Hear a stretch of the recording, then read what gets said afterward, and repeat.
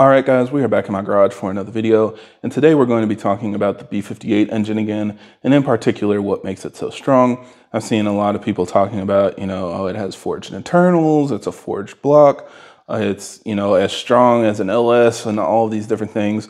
And thankfully, BMW has actually published materials that tell us a lot about the internals of the engine and how it was designed and manufactured.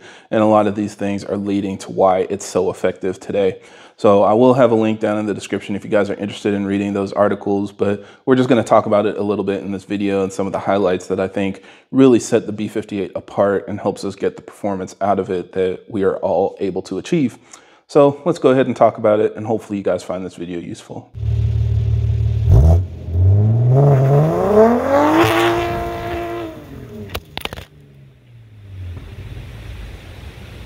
Now, as always, for everybody that's new to the channel, I create these videos to help keep you updated on the latest developments in our community, as well as discuss technical topics so that we have a better understanding of how our engines work.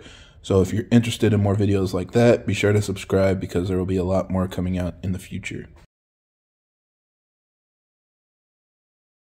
So there are, of course, a lot of different things that make the B58 engine work so well. It's extremely efficient, really reliable, and really strong. But a lot of it, of course, comes down to the design and manufacturing. So let's go ahead and jump into some of the details. First things, of course, is the actual material. So the cylinder head and the block are both cast aluminum. This helps them stay very lightweight and helps them manage heat very effectively.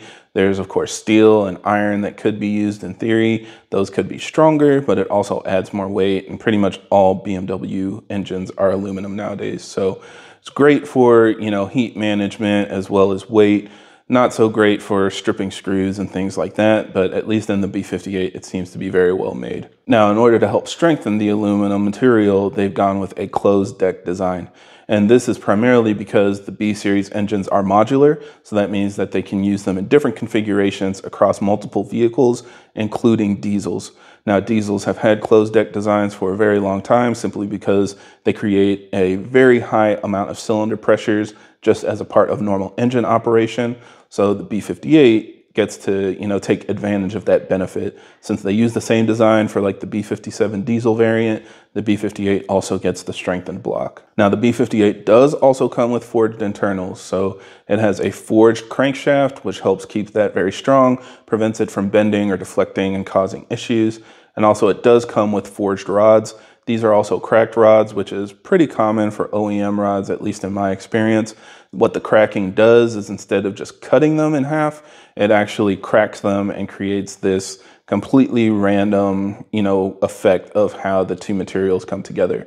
So when you put both halves of the connecting rod together, that line is going to completely disappear and it's going to look like one piece. But now you get extra surface area between the two sides, so it helps strengthen it and give it more reliability once it's fully assembled. Most aftermarket rods won't have that feature. They'll just be, you know, machined flat and cut in half.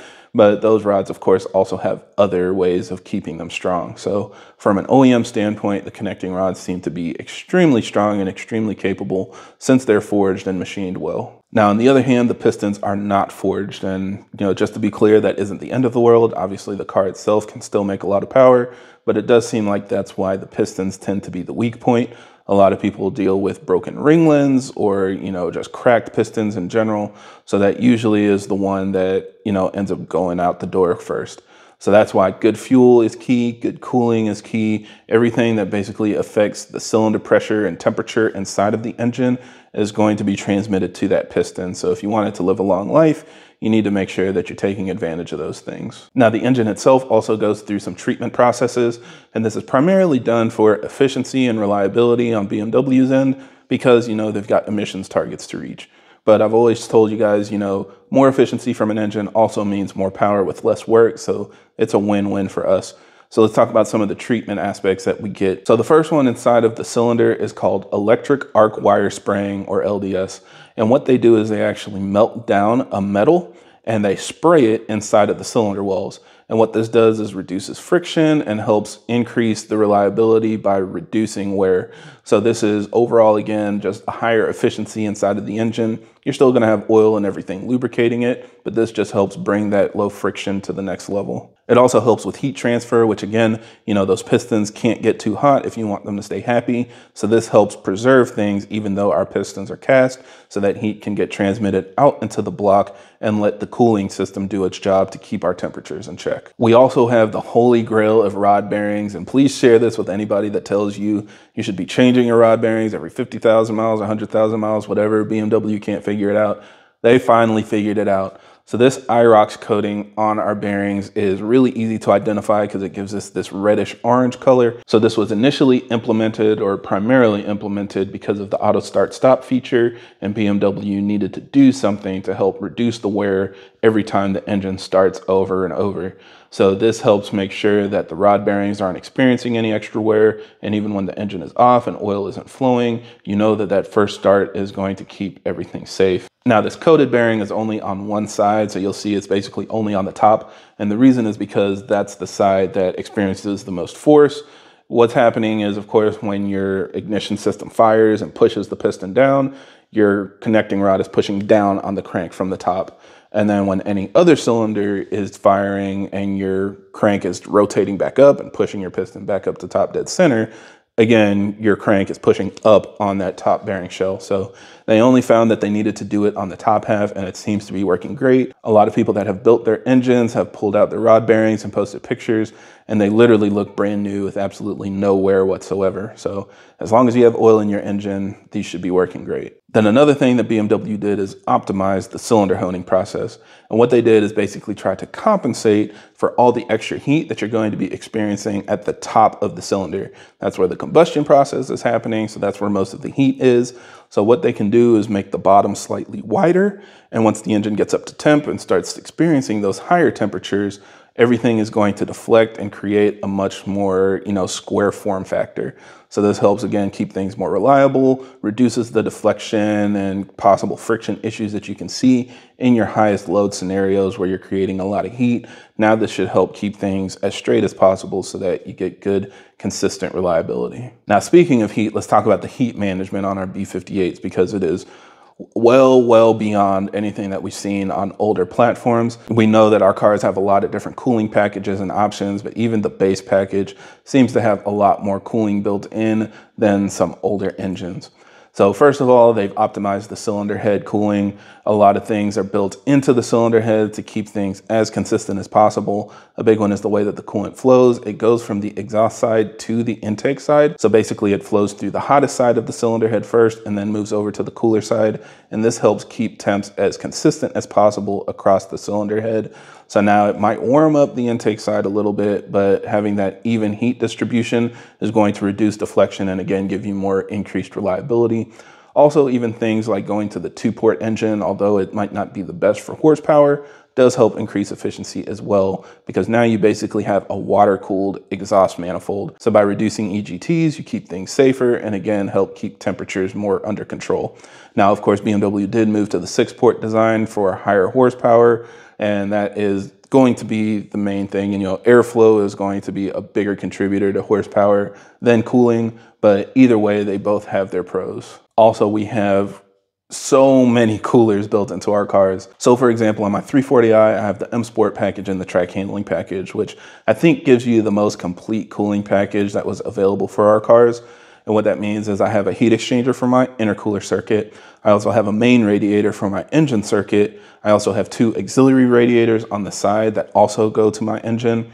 And then I have a fourth heat exchanger for my transmission that still goes to the engine cooling circuit, but it cools off the transmission fluid first. But I still also have a liquid to liquid cooler that's on the side of my transmission.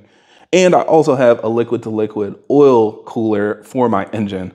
So it's just, it keeps going. I mean, our cars have crazy cooling packages nowadays, and it does a really good job of not only keeping things cool, but getting things up to temp quickly. And I know a lot of you guys are concerned about warming up your car and making sure that you don't beat on it. Well, these are the things that help take advantage of that, especially because our coolant warms up so quickly. I've seen people explain that some aspects of how our cooling system works lets that coolant warm up your engine oil and your transmission fluid so that they can get up to temperature more quickly as well. So a lot of those heat exchangers and things that we have built into our car not only keep temperatures cool, but also make sure it gets up to temp quickly so that everything is as efficient as possible. So again, these things are a win-win for us. It helps with emissions, helps with fuel economy, but also helps us make more power safely. Also, we have the heat management module now, which completely replaces the old school thermostat setup. And the way that the heat management module works is it can send coolant to any specific combination of components